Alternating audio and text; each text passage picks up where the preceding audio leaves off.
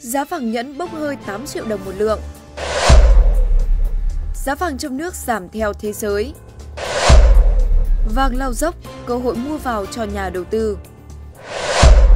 Sáng ngày 13 tháng 11 năm 2024, thị trường vàng trong nước tiếp tục ghi nhận những biến động đáng chú ý với giá vàng nhẫn tròn trơn giảm mạnh, trong khi giá vàng miếng duy trì mức ổn định. Cụ thể, giá vàng nhẫn loại 1 đến 5 chỉ do công ty vàng bạc đá quý Sài Gòn SJC niêm yết giảm sâu xuống mức 79,5 triệu đồng một lượng khi mua vào và 82,2 triệu đồng một lượng khi bán ra, lần lượt giảm 400.000 đồng và 200.000 đồng một lượng so với kết phiên hôm qua.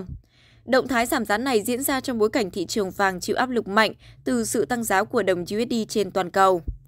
Tại tập đoàn Doji, giá vàng nhẫn 4 số 9 ghi nhận mức tăng nhẹ ở chiều mua vào, đạt 80,8 triệu đồng một lượng, tăng 300.000 đồng so với phiên trước, trong khi giá bán ra duy trì ở mức 83,2 triệu đồng một lượng.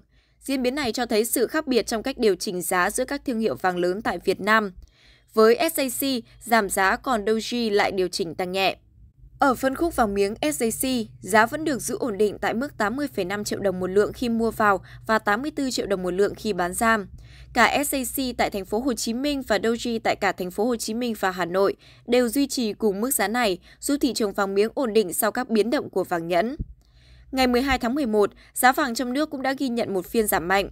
Kết thúc phiên, giá vàng miếng SJC 4 số 9 niêm yết ở mức 80,5 triệu đồng một lượng khi mua vào và 84 triệu đồng một lượng khi bán ra, giảm khoảng 1,4 triệu đồng một lượng so với phiên trước đó. Riêng vàng nhẫn tròn trơn 4 số 9 của Doji giảm mạnh tới 2,65 triệu đồng một lượng ở chiều mua vào và 1,7 triệu đồng một lượng ở chiều bán ra, đưa giá mua vào xuống mức 80,5 triệu đồng một lượng.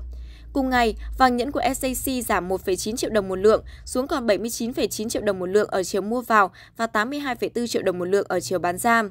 Sự giảm giá đột ngột của vàng nhẫn và vàng miếng đã ảnh hưởng đến cả hai thương hiệu lớn trong nước, với mức giảm gần 8 triệu đồng mỗi lượng kể từ cuối tháng 10. Tại Doji, giá vàng nhẫn tròn trơn đã giảm từ 88,6 triệu đồng xuống còn 80,5 triệu đồng một lượng ở chiều mua vào. Đối với SJC, giá vàng nhẫn cũng giảm mạnh từ 87,5 triệu đồng xuống 79,9 triệu đồng một lượng. Trên thị trường quốc tế, giá vàng thế giới đã có dấu hiệu hồi phục nhẹ sau đợt giảm sâu.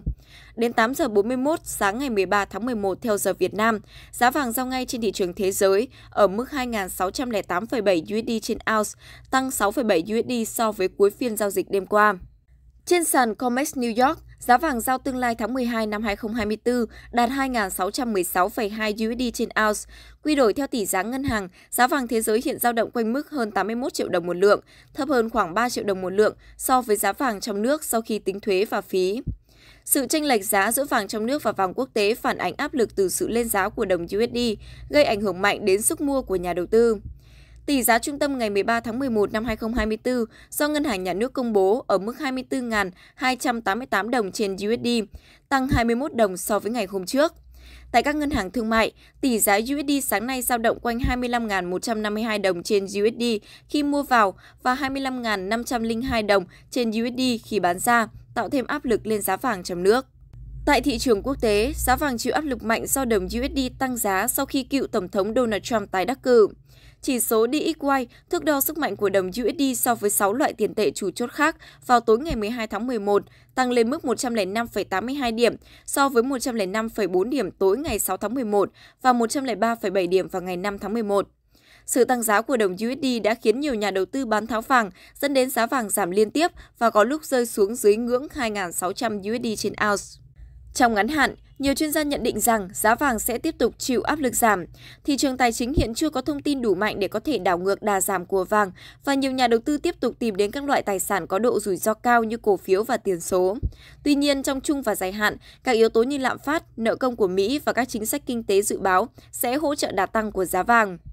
Các chuyên gia cho rằng tình trạng nợ công và lạm phát ở Mỹ có thể làm cho giá vàng tăng trở lại. Những chính sách thuế tiềm ẩn nhiều rủi ro của chính quyền mới sẽ tạo áp lực lên tài chính quốc gia và trong tình huống đó, vàng sẽ trở thành kênh trú ẩn an toàn.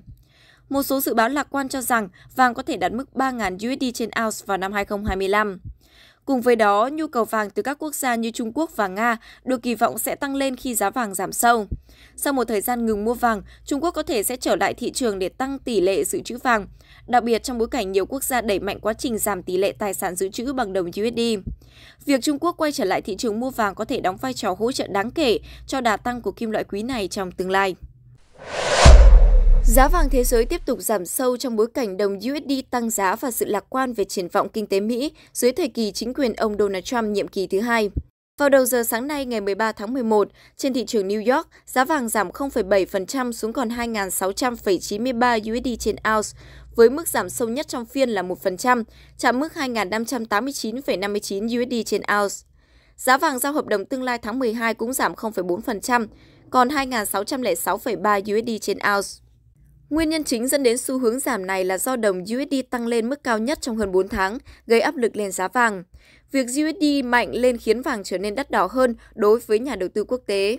Trưởng bộ phận chiến lược thị trường tại quỹ OJO Futures, ông Daniel Bavilonis nhận định rằng đây chỉ là đợt điều chỉnh ngắn hạn của thị trường vàng trong xu hướng tăng giá dài hạn. Với dự báo lạm phát có thể tăng cao, điều này sẽ tạo điều kiện để giá vàng phục hồi. Nhìn từ góc độ phân tích kỹ thuật, giá vàng vẫn có khả năng tăng trở lại với ngưỡng hỗ trợ quan trọng tại mức 2.600 USD trên ounce. Trong tuần này, nhà đầu tư cũng chờ đợi nhiều thông tin từ nền kinh tế Mỹ, bao gồm chỉ số giá tiêu dùng tháng 10 và phát biểu của các quan chức Cục Dự trữ Liên bang Mỹ Fed. Trong dài hạn, việc đồng USD tăng giá có thể khiến nhiều quốc gia mới nổi đẩy mạnh mua vàng như một tài sản an toàn, tạo động lực hỗ trợ giá vàng. Tại Việt Nam, giá vàng trong nước cũng ghi nhận đà giảm tương tự. Cập nhật vào sáng nay, giá vàng miếng SJC tại Hà Nội và thành phố Hồ Chí Minh niêm yết ở mức 80,5 và 84 triệu đồng một lượng khi mua vào và bán ra. Trong khi đó, giá vàng nhẫn SJC dao động từ 79,9 đến 82,4 triệu đồng một lượng. Quy đổi theo giá vàng thế giới, giá vàng trong nước tương đương 80,99 triệu đồng một lượng, thấp hơn khoảng 3 triệu đồng so với giá vàng miếng SJC. Giá vàng tại các công ty lớn cũng biến động tương tự, như vàng miếng kim bảo 4 số 9 của P&J được giao dịch ở mức 81,2 đến 82,8 triệu đồng một lượng và vàng nhẫn ép vỉ của Bảo Tín Mạnh Hải từ 80,52 đến 83,12 triệu đồng một lượng. Cùng với đó, tỷ giá USD tại Việt Nam tiếp tục neo cao, dao động trong khoảng 25.130 đến 25.480 đồng trên USD vào sáng nay, tạo thêm áp lực đối với giá vàng. Trong những ngày gần đây, giá vàng trong nước giảm mạnh khiến thị trường biến động bất ngờ. Kết thúc phiên ngày 12 tháng 11, giá vàng miếng SJC được công ty vàng bạc đá quý Sài Gòn SJC niêm yết ở mức 80,6 triệu đồng một lượng khi mua vào và 84,1 triệu đồng một lượng khi bán ra, giảm khoảng 1,4 triệu đồng so với ngày trước đó. Từ đỉnh hơn 90 triệu đồng vào hai tuần trước, giá vàng miếng đã giảm hơn 6 triệu đồng một lượng. Tương tự, vàng nhẫn và trang sức 24K cũng giảm xuống chỉ còn 80 đến 82,5 triệu đồng một lượng, bốc hơi gần 7 triệu đồng so với đỉnh. Dù giá vàng giảm mạnh, thị trường không xuất hiện tình trạng bán tháo. Tại công ty vàng SJC ở quận 3, thành phố Hồ Chí Minh, chỉ có vài khách đến giao dịch, không còn cảnh xếp hàng chờ mua như trước. Một số khách đến bán do nhu cầu tài chính cá nhân, trong khi một số người tranh thủ mua thăm dò khi thấy giá hạ.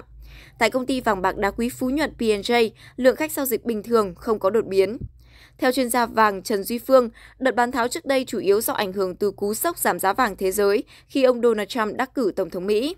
Khi giá vàng thế giới giảm mạnh, giá trong nước phải liên tục điều chỉnh để phù hợp. Ông dự báo nếu giá vàng thế giới tiếp tục giảm về mức 2.500 đến 2.550 USD trên ounce, giá vàng trong nước có thể giảm tiếp. Tuy nhiên trong dài hạn, môi trường lãi suất thấp do các ngân hàng trung ương cắt giảm lãi suất có thể đẩy giá vàng tăng trở lại. Chuyên gia kinh tế tiến sĩ Nguyễn Trí Hiếu cho biết, sau khi ông Trump thắng cử, đồng USD tăng mạnh và thị trường tài chính khởi sắc. Fed đã giảm lãi suất xuống 4,5 đến 4,75%, nhưng đồng USD vẫn tăng, kéo giá vàng đi xuống. Ông Hiếu dự báo giá vàng thế giới có thể tăng trở lại lên mức 2.800 USD trên ounce trước khi ông Trump chính thức nhậm chức vào tháng 1 năm 2025, trong khi giá vàng trong nước sẽ chịu ảnh hưởng từ nguồn cung và nhu cầu thị trường. Người dân nên giữ bình tĩnh, tránh giao dịch theo đám đông khi giá vàng biến động mạnh.